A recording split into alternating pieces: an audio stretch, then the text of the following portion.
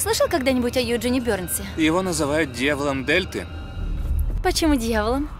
Его здесь хорошо знали, но не за его музыку.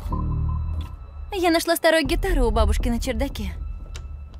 Он был связан с несколькими убийствами. Кроме Юджина Бернса, многие блюз-музыканты продали душу дьяволу. Ее лучше не слушать.